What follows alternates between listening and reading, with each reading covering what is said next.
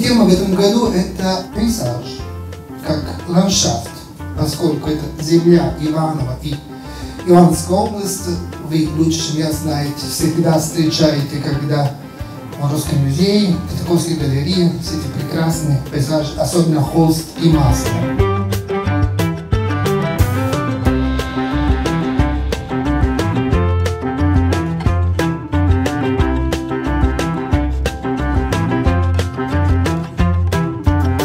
Видеоарт – это не кино.